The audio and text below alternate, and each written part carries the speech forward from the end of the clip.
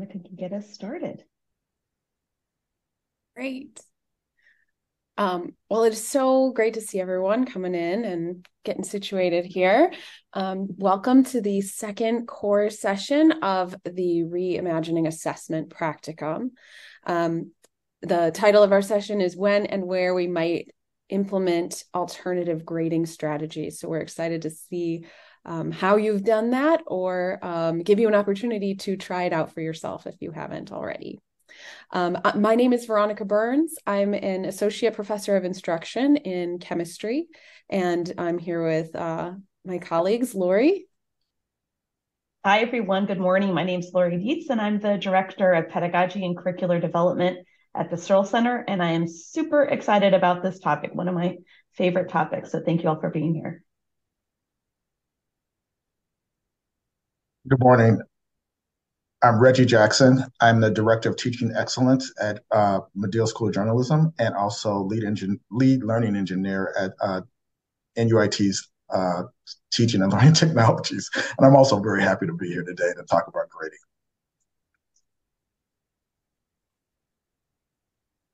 So uh, what we want you to do is if you can put into the chat, you can put your name, pronouns, role, and department, and three words that describe how you feel about grading. Do not hit send or enter until we say go. Seeing all these words. Mm-hmm. Curious, that's a great one. Stress, definitely. mixed feelings i think that's a great way to describe it as well. Seems like there's a lot of mixed words that we're yes. here. Onerous drudgery arbitrary. restrictive. Oh i hate oh, giving yes. yeah. Onerous. Wow that's a good one. Oh these are great. Thank you all uh, for sharing these. And seeing all the range of emotions that people have about grades, it's probably a great opportunity to remind you all of our participation guidelines for the practicum, which really is about uh, remembering that we all come from different experiences and feelings. And so to approach our conversations, even when we have um, really strong opinions and strong feelings with curiosity, uh, and to assume those positive intents Um, and as we engage in our conversations today and throughout the practicum. We also have a feedback and insight board that we're using in the practicum to collect your feedback as we go. I think Un can supply a link and there, it's also available through the Canvas site.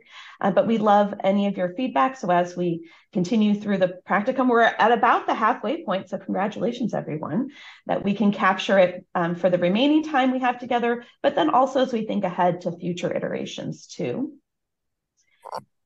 And I also just really want to do a special plug for our consultant, Melissa Coe. I had the very good fortune of working with Melissa when we were both at Stanford, and she is absolutely fabulous and wonderful. Um, she's currently at UC Berkeley in their Center for Teaching and Learning in a role focused on equity and assessment. She's exactly the kind of person that I turn to when I have questions around assessment and grading and really any any teaching topic. She and I, we really survived the pandemic together. So uh, if you haven't made an appointment with her yet, I would really, really recommend it. And yes, so back to our session. Yeah, so we sort of centered this session on um, some guiding questions here. Um, first, we'll tackle how grades can demotivate learning and maybe what can we do about it and how could we potentially address some of those problems. Um, so, what are some assessment frameworks that will decenter grading in effort to um, resolve those issues that that grades bring with them? And then um, we're going to spend the most of our time on this last point, which is how might um, those alternative grading frameworks apply to you and your um, classroom experiences. So, um, I really invite you to to use this time to imagine for yourself. It's called the reimagining assessment practicum. So we're really leaning into that imagination part. Um, and we're going to invite you to imagine different possibilities for what your classroom could look like under these different types of um, grading frameworks. So we'll start off with talking about the problems with grades. Um, we'll go through our way of thinking about all these different frameworks. You've probably heard names of some of them or even tried some of them in your courses, but how do they all fit together? How do we sort of parse that out? And then we'll go into three separate um, uh, frameworks that are are often used contract grading specifications grading and ungrading.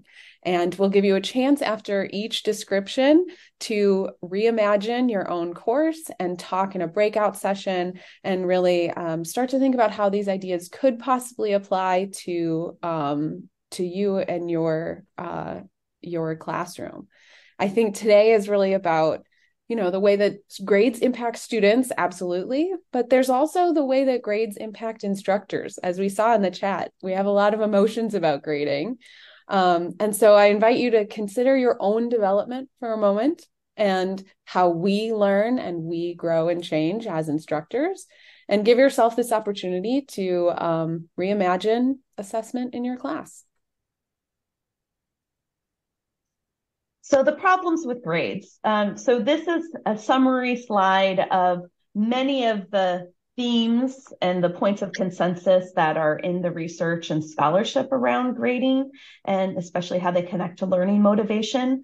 If you attended Robert Talbert's keynote, he really hit on a lot of these. And so we just wanted to bring them back here with a special emphasis for today's conversation on that top middle one about how grades can really discourage experimentation and risk taking. And I think that's particularly important to think about within the context of Northwestern students. Northwestern students are very high achieving, right? They are students who got to Northwestern because they were so good at getting good grades. So oftentimes their identities really get attached to those grades, as I'm sure uh, you all can relate to if you've taught a Northwestern class. And, and the problem with that, right, this kind of goes to Carol Dweck's research on fixed mindsets, is that if the, our identities get so wrapped up in being an A student, then we're less likely to take those chances to really grow and to push ourselves and learn. And so if we can push grades out of the picture for as long as possible, then we give Northwestern students that gift to really grow and reach beyond any potential that they even thought might have been possible for themselves. And in addition, and I can speak about this from personal experience into what Veronica was saying about this also being about our experience as instructors. I know that when I, I use a lot of contract grading, which we'll get into more specifics later, but it has really allowed me to do more experimentation as an instructor because I know that if an assignment doesn't quite work out, students' grades and that murkiness aren't like dependent upon it. It's part of a bigger picture and we're all kind of learning together. And so I feel like I've really come up with some of my most innovative learning experience for students because I've had that freedom and flexibility to work within some of these alternative grading structures. And then finally, that last point on the slide that the biggest issue and one of the reasons why we wanted to build this whole practicum around assessment is that grades stop the continuous improvement process. That is what the research just shows hands down. The second we put a number or we put a letter grade on something, learning is done. It doesn't really matter how much feedback accompanies those grades, it ends the process. And what we really want to do is embrace that idea that we are lifelong learners and that we want students and us, right, to learn for as much uh, as we can, for as long as we can, until we're kind of forced, right, at the end of the term, then to settle up with a grade. So these are going to be some of the, the points that we kind of go back to as we look at different alternative grading frameworks. So there are lots of uh, frameworks available, and uh, they can be a little bit confusing but they overlap and intersect as you see here on the slide. So today what we're going to do is we're going to break down break these down specifically for you and then give you an opportunity to try on like grading schemes and uh, through discussions with uh, your peers here.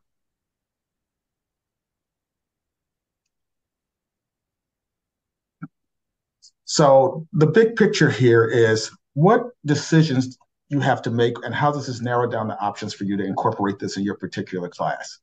So none of the options are binary. Uh, they are like on a sliding scale. So what do students, where do students demonstrate learning? Labor-based, uh, learning how to bake croissants. So learning is in that process or standards-based where students meeting benchmarks. So you give them three attempts to meet the standard that you've set for them in, uh, in your, uh, on the specific assignment.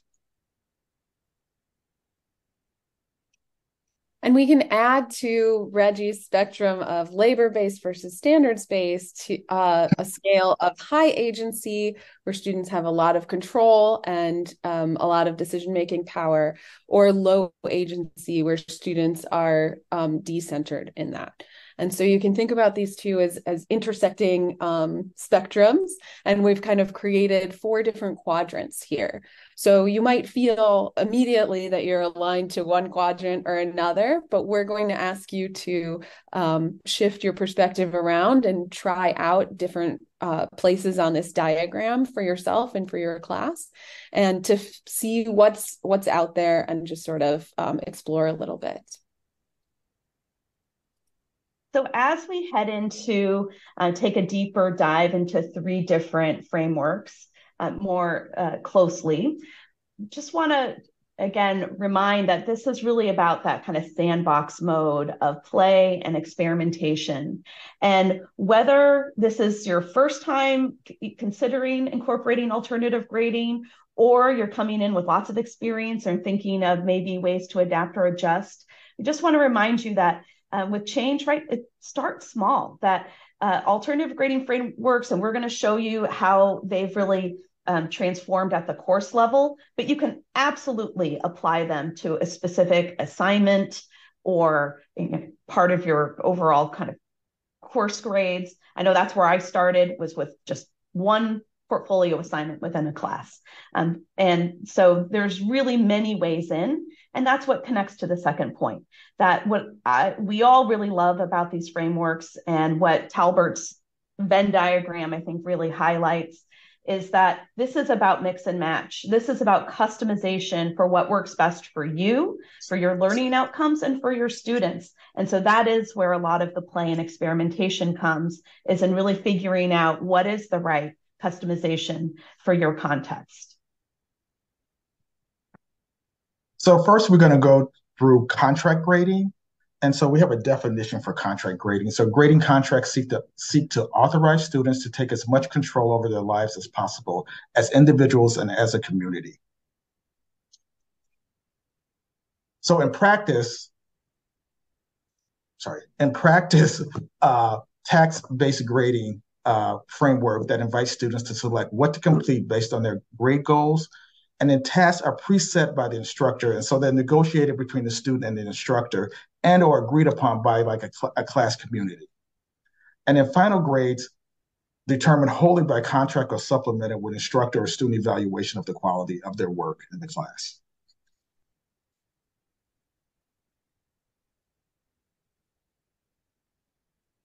So here's a good definition of labor-based grading. Uh, a labor-based contract calculates the final course grades purely by the labor students complete, not by any judgments of the quality or their writing.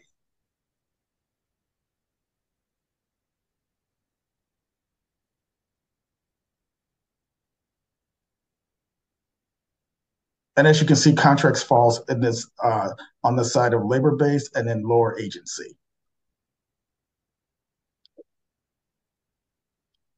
So we did a case study. We did a couple. We did some case studies here, and uh, I talked to uh, Patty Walter, who is a faculty member in uh, the Medill School of Journalism, and uh, I talked to her about her class, uh, her magazine editing class, which was uh, Journalism 311, and um, Patty's motivation for making a change in her course.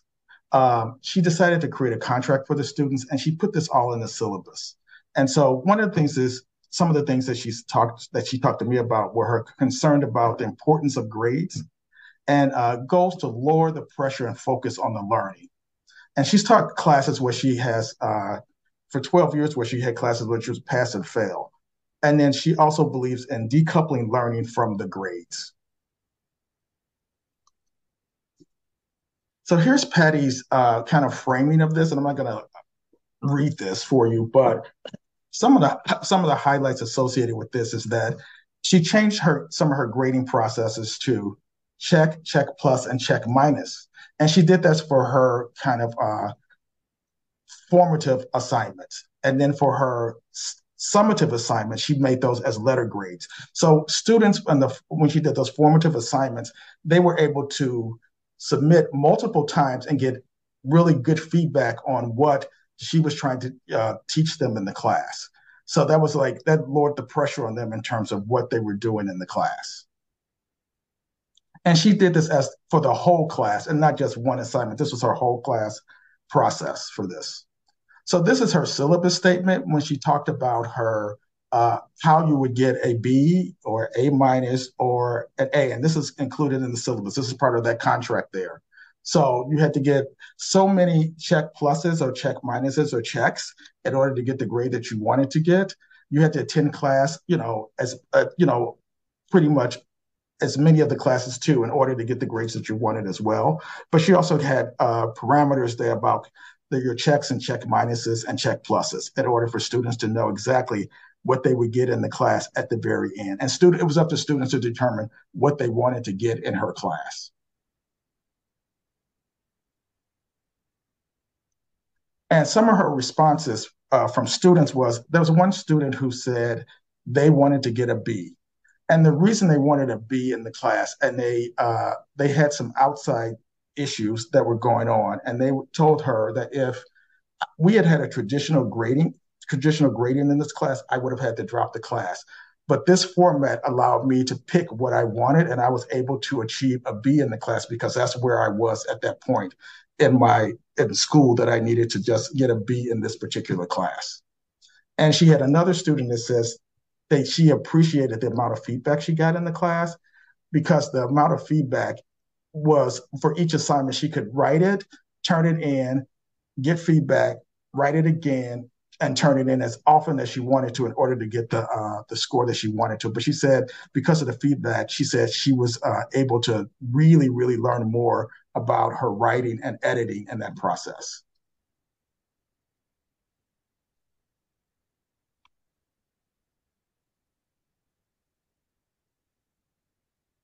So the next thing we're going to do is we're going to put you in uh, groups.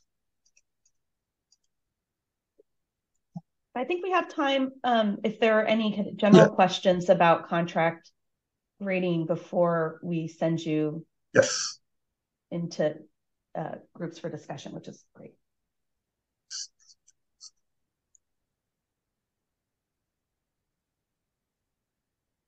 You can put those questions in the chat. So So here's what you're going to do in your small groups. Um, you're going to get, well, you know, you're going to discuss um, if you have implemented labor-based contract grading in your class, what did you, what did you, what did, what, what you did and how it went. And then if you have not tried it, um, you might, what might it look like in your class? You know, would you apply it to one aspect of your class or would you do it for the whole class? you know, what would be the potential benefits for students and you, and what are the potential challenges and concerns? So we're going to work in the same groups throughout the, uh, for each one of these breakouts we do today. So this one is going to be for uh, 15 minutes. So I'm going to open the rooms now and let you in.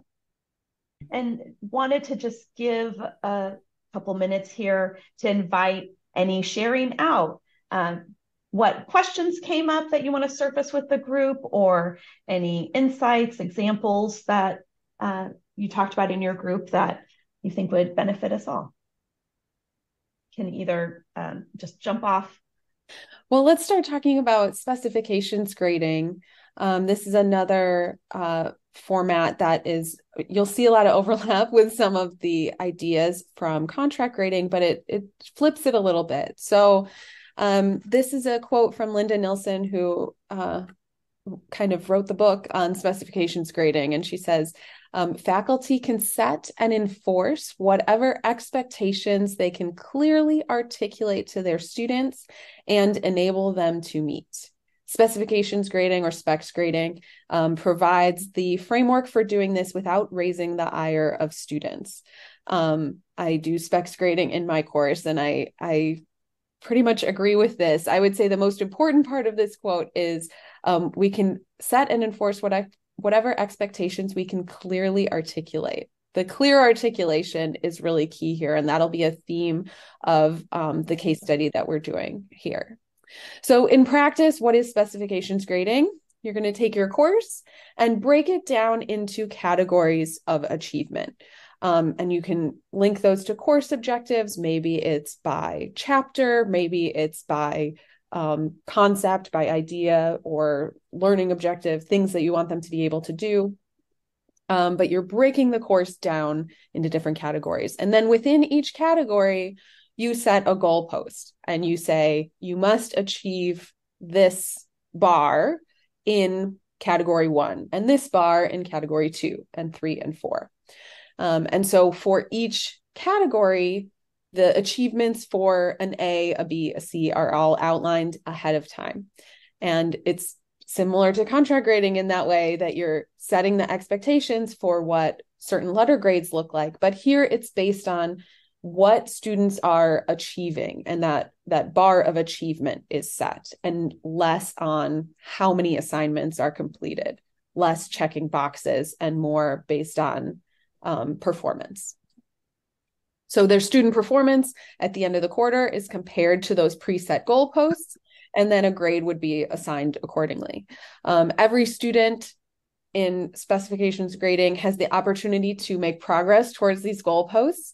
Notice we're comparing to a goalpost to a specific way of um, evaluating the performance and not comparing to other students in any way. So that is something I always stress with my students. You're not being compared to each other, you're being compared to a set of standards, and that's inherent in specifications grading. And so here, if we're thinking about the quad diagram thing, the example you're about to see falls into that lower corner um, standards based because it is about setting those standards of achievement and where we want a student to be at the end of the quarter. And it's low agency because I'm the one setting those standards. and um, you could imagine other uh, examples of specifications where students have a little bit more agency. But for this example, we're in that lower corner and this case study, you see my face over here, but um, I've done all this work uh, with my colleague, Katie Gesmundo. Um, she's, you know, my right hand kind of thing.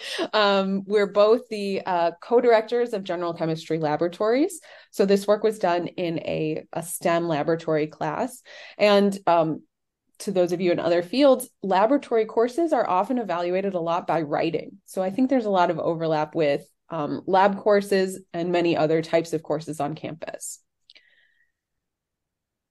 And so, what we started off with this, and we said this was full disclosure during the pandemic, and we really had to sit and look in the mirror for a little while and decide what does it mean to take a lab course? Um, particularly during a pandemic, what does it mean to take a lab course? But even after the pandemic was over, um, we used our brainstorming from that time to reshape what our course looked like. So, you know, what do we want students to be able to get out of um, a laboratory course? And we made a list of things. Some of those things, lab techniques, um, data analysis, those, you know, were were our tent poles here. And each of those uh, what do we want students to get out of the course? Each of those ended up turning into a category in our grading scheme. And our grading scheme shaped what the assignments looked like. So we really cleared the deck and we said, we're going to start the course all over from what do we want students to get out of the class and allowed that to shape the way the course is graded and allowed that to shape the assignments. So something like lab techniques that translated into a category called safety and techniques, and that appears on every assignment that students turn in. They answer a question about safety and techniques. Um, science writing experience that turned into a writing focus question. Lauri. Thank you. Um, and so the chart that students get to, to keep track of their grade over the whole quarter um, has each of these categories that we're uh, that we've described to them: safety and techniques, experimental design, etc. And um, every assignment is uh, uh, listed as a column. So as students complete assignments, they're tackling one of each category, one of each question type um, in that single assignment. And then they do it four times because there are four assignments overall. So as they progress through the quarter, they're progressing through each category. And they can actually chart how well they are doing and how well they are achieving through each category on this on this diagram. They'll fill in the empty boxes as they turn in the first, second, and third and fourth assignments.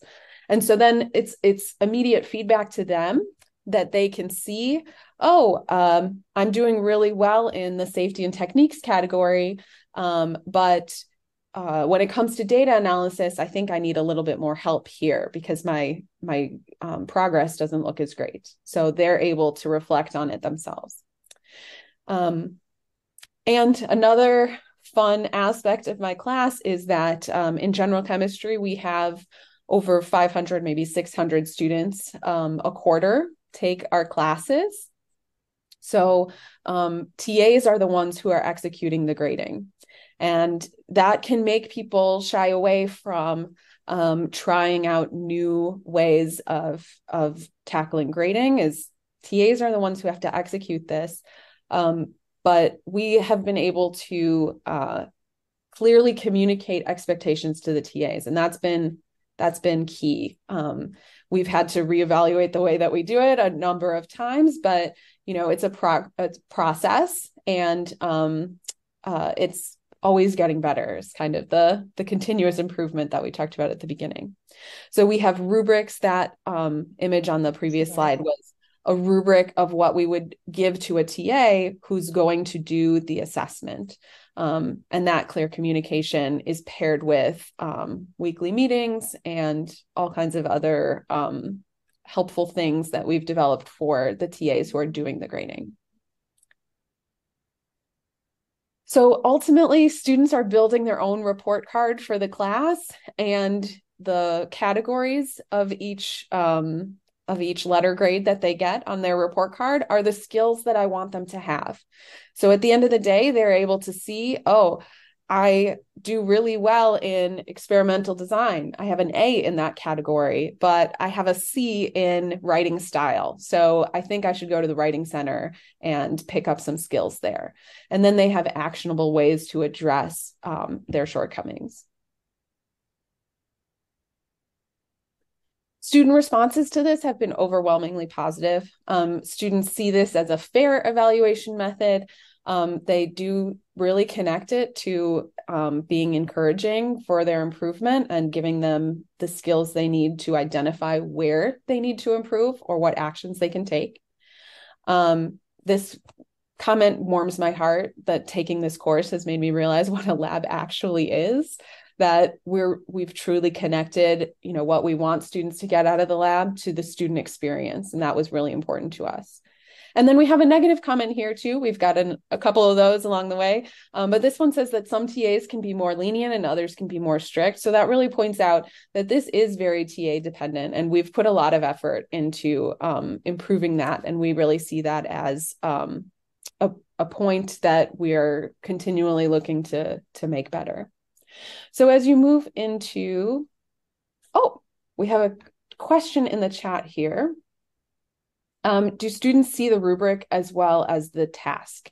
Um, students do not see the TA facing rubric. Um, students are told what the expectations are for. Um, we have something similar to what Patty has, like the check, check plus, check minus thing. We call it excellent, good, and not quite meaning not quite meeting the expectations. So we have definitions for what those three categories mean, but we don't give them specifics about what we are looking for in the answer to each question, because that itself is kind of a hidden learning objective of getting them to um, uh, elevate their work to a, a, a deep thinking sort of level. Really wonderful discussion. Um, students oftentimes focus on what they have done wrong rather than holding on to the areas they are doing well. That is very true. Um, is there a way we can help students see both and celebrate where they are doing well? Yeah, I mean, I think it takes um, having that conversation transparently during class.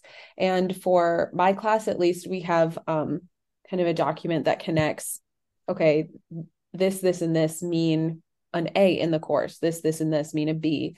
And um, taking some time out of class to go through that document really helps students um, make those connections and realize, oh, I can make mistakes and it's okay. It also helps highlight for them what they are doing well and give them kind of a pat on the back in that category.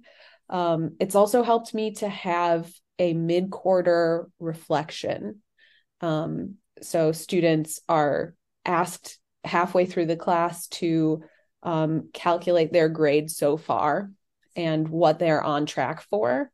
And then they are confronted with okay here's the areas i want to improve and here's the things i'm doing well and so both come to light at that same time with a with kind of a metacognitive bent to it which is nice um, discuss different levels of skill um, which may involve feedback. Yeah uh, more integrative skills may require a more elaborate description. Definitely. Um, there's a whole section next week on feedback and how to tailor the feedback to your course um, and and how to give good feedback to students. Okay great. So let's hear about our last category. It's ungrading um, Lauri so ungrading so this is a term that can be a bit squishy. I think sometimes ungrading is used as a synonym for all alternative grading. But really, when you look a little more closely at the literature, what it's really trying to do is is uh, minimize instructor agency as much as possible, even to the extent where they are not grading at all. That and uh, this is a definition coming from Jesse Stommel, who is one of the big proponents of ungrading, that it's ultimately about student self assessment, um, that they're the ones who then do the work of reflecting critically on their own learning and then providing evaluation. Because the idea is that you know best as the learner, you know when you've learned, right? Like part of it, it's so internal to know when someone is actually learning, just performing. And so, why not then have that evaluation process um, go to the student. So in practice, what ungrading or this kind of self-assessment, self-grading looks like is that uh, many times students are setting some, if not all, of those of their learning outcomes. So again, like pushing towards that high agency side of our graphic, um, and that they are then regularly reflecting on their progress. So that real kind of metacognitive um, approach is embedded within the fabric of the course. Uh, the instructor then is really providing so much feedback, which again, we're not really getting into specific feedback strategies today, but next week we'll really focus on different ways of approaching feedback. And so you really become the coach in this environment because it's really hard to self assess well. There's all sorts of great psychology research out there about how bad people are at self-assessment. And um, and so a, a, we can improve that a lot. And part of it is being able to make our own predictive models of how we learn and how we perform and what environments and what contexts. And that re- often requires a lot of coaching. So that becomes a big role of the instructor in it. And then the students at the end they are the ones who determine their final grade um, based on all that self-evaluation and often on a final um, kind of uh, structured reflection. And um, the instructor is still the one who's going to have to enter it into the book of record. And so often there will be a little caveat that they will adjust the grade if needed. And I'll say in everything that I've read or anyone I've talked to who's used ungrading, I've only heard instructors say that if they've had to make an adjustment, it is to adjust the grade up. because students can be really, really um, self-critical, and the instructor can see their progress more and want to give them the benefit of the doubt there. So in the case study that we're going to look at right now for ungrading, this is falling in that upper right quadrant, that it's a more standards-based approach, but it's giving students very high agency. The students are doing a lot of the setting of their own goals in this um, case study. And then, of course, they're also determining um, their grades uh, pretty much solely. If you attended the student panel session with Megan Fritz um, last week, uh, hers would also fall in this upper quadrant where students were doing a lot of setting of their own goals, wellness goals um, specifically. So I'm bringing you Trish Breeder. Um, uh, I worked with Trish in the spring, and what I really love about it, this example, is that this was the first time that Trish was experimenting with an alternative grading framework. And she was really motivated by wanting to create a more equitable um, classroom environment and to do, reduce stress around grades for students. That she was really noticing a lot of that anxiety. And she was like, what can I do to reduce stress and provide a more equitable context? She had gone to um, a workshop on ungrading and had read Susan Blum's kind of famous chapter out of the book that she edited on ungrading. And so it's like she was like, ready, let's take the plunge. And so it was a lot of fun working with her um, as she uh, applied this to her literature class. So I just wanted to uh, give you the framework that, that she put in her syllabus. And very similar to Patty's, right? She is grounding this in the research, letting students know that this is coming from an evidence-based practice. And what I also really like about how um, Trisha's framing this for her students is that she's really centering the values that she cares about here. Um, it, she's she tells them it's because she cares about equity. She tells them it's because she cares about their learning and really wants to create that environment for them to take risks, to experiment, and to really grow, and that she's there to support them all the way. Uh, she has them do to you know write some of their own goals. She does conferences at the beginning. They're doing reflections on their progress towards those goals throughout.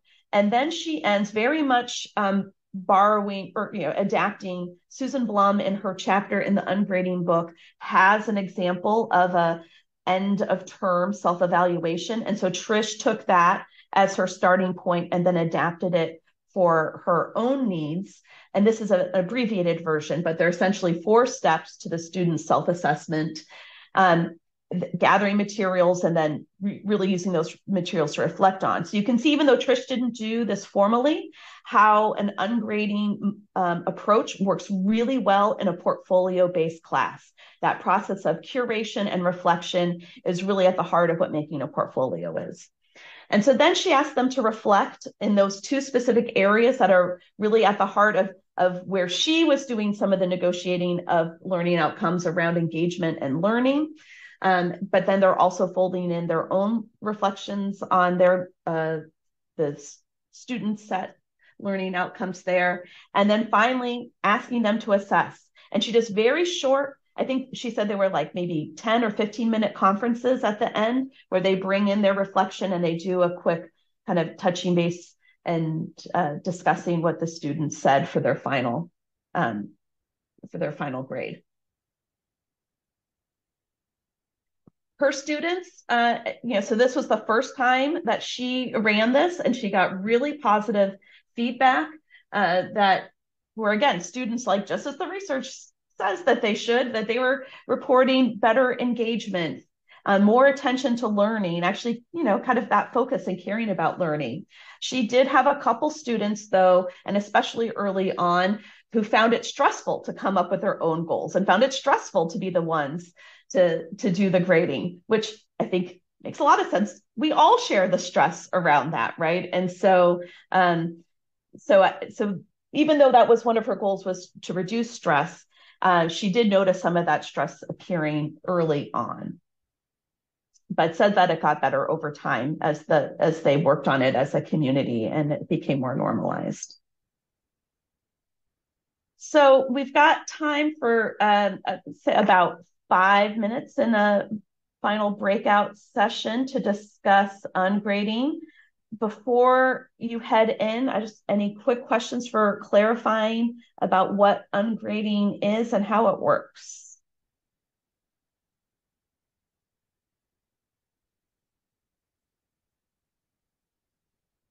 All right, let's uh, give you five more minutes of chatting and then we'll come back and wrap everything up.